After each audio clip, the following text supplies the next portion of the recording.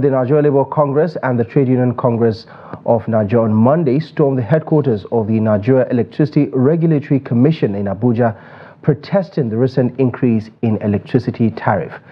Now, the action followed a May 10 memo from the unions directing their state branches to carry out the exercise after the federal government failed to revert the hike in electricity tariff as demanded by the organized labor. Noel Sampson has more.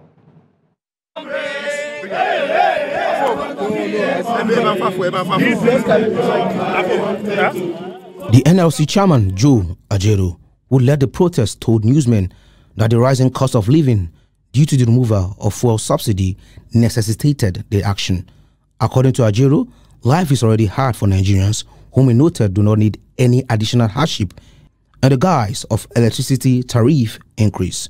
Nigeria cannot develop with 4,000 megawatts. No way. You cannot develop industrially with 4,000 megawatts. Some countries of the world, uh, America and China and others, are talking of over 1 million megawatts of electricity. Mm. And we can't be talking of 4,000 megawatts. So NERC should seek the right thing to be done, not tariff.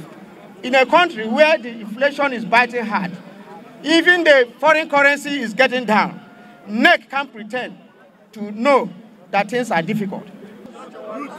You cannot grow Nigerian economy with taxation. You cannot grow Nigerian economy with taxation. Even today, the governors are sitting in the comfort zone of their own without thinking how to generate internal revenue. But they'll come to federal capital territory and pack the money to pay wages becomes a problem. The chairman Nigeria Electricity Regulatory Commission NERC, Sanusi Garba, who addressed the protesters, called for understanding saying the increase in tariff was necessitated by the rise in the operational costs. He, however, assured the protesting workers that the commission would return to the drawing board to see what can be done to mitigate any adverse impact on Nigerians.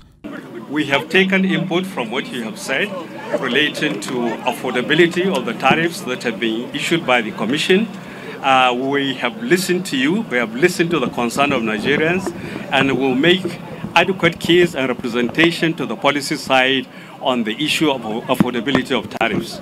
Nigerians are praying for a positive outcome after the picketing exercise. No, Samson, Trust TV News, Abuja.